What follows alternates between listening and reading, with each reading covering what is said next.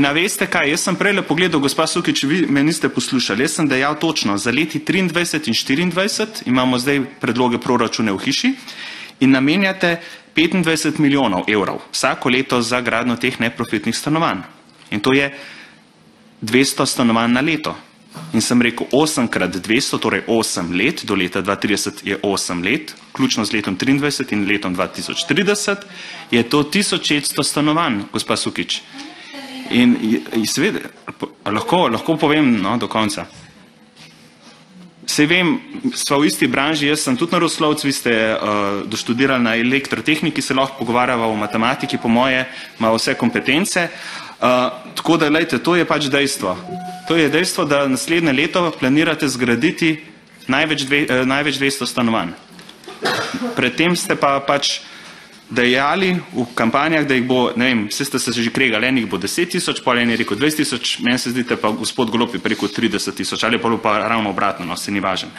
Um, zdaj pa, če se vrnem no, še na razpravo gospe Sluge, no, ki se je vrnila na tisti datum, petek 13. marec 2020 in kritizirala, kako je Janša vlada ne vem kaj delala. Lejte, gospa Sluga, vi ste takrat podprli to vlado, jo omogočili, Najbrž zdaj se vidi, da zaradi vašega poslanskega stolčka, ker bi drugač bili, bila propadla političarka in ste pač glasovali za to vlado in za ta povišanja v kabinetu. Tako da lepo prosim, da ne zavajate, vi ste takrat podprli, bili ste celo vodja poslanske skupine, zelo dobro plačano, tako da Samo tokno v vednost. Lahko se vsaj vzdržite nekih takih napadov in žaljen in Govorim samo dejstva. To niso Govorim dejstva. To, so, to niso dejstva, gospod Hojvik, in vi verjetno zelo dobro to veste in prosim, če se vzdržite, ker lahko svoje poveste tudi na drug a, način, da vsaj nekako obdržimo eno kulturno raven dialoga. Prosim.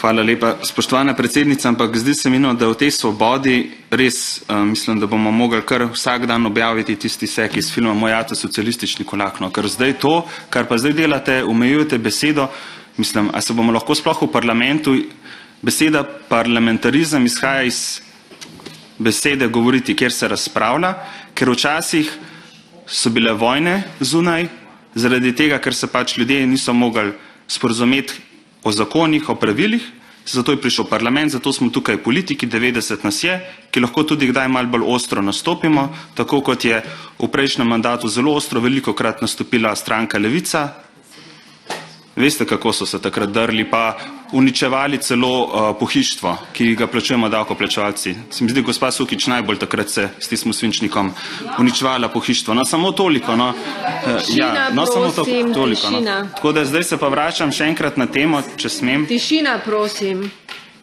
Hvala. Uh, tako da jaz še enkrat predlagam no, in zaključujem današnjo razpravo, saj z moje strani, da sprejmemo ta naš amandma, torej da se gre na referendumski dan 4. decembra na drugi krok lokalnih volitev. Hvala lepa. Hvala lepa. Mogoče bi pa res mogli eh, upoštevati tist eh, predlog, ne vem, kdo ga je že dal o slovarju slovenskega knjižnega jezika, namreč parlamentiranje je razprava. To ne pomeni, to ni žaljenje in to ni osebno obračunavanje, ampak razprava. In prosim, eh, dajmo razpravljati, ampak ne se žaliti.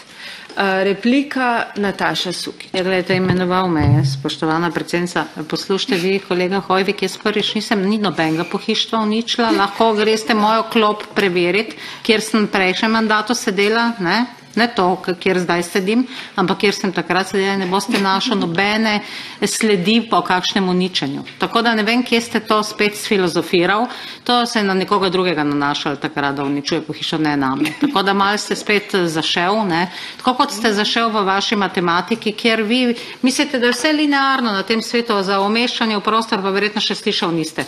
Če ti načrtuješ, planiraš gradnjo uh, deset tisoč stanovanj, moraš za to dobiti razna dovoljenja, jih umestiti v prostor in o tem planiranju sem govorila. In to ne pomeni, da bo vse linearno vsako leto 200 stanovanj, koliko ste vi naračunal. To pomeni, da se začne zdaj delati na tem planiranju in da bo da ta rast ni linearna, ampak uh, potem poskoči, ne, ko so stvari pripravljene za to, da se lahko realizirajo.